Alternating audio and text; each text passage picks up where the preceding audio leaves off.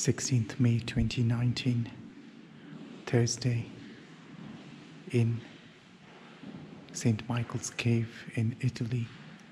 I've just lighted the candles and prayed my candles prayer.